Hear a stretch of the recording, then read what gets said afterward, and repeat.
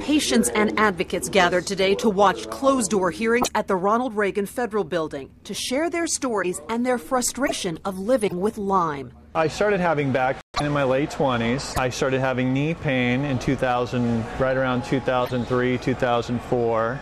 And then 2005 started having neurological pain. Stephen Thomas is one of them, a school teacher from Arlington, Virginia.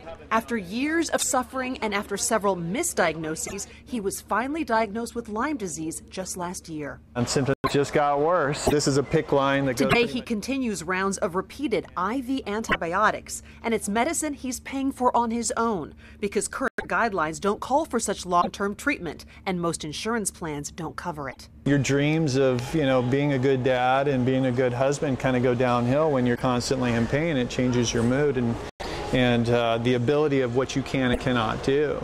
Experts meeting today are reviewing the current blueprint established by the Infectious Disease Society of America and hearing from doctors on the front lines in treating this often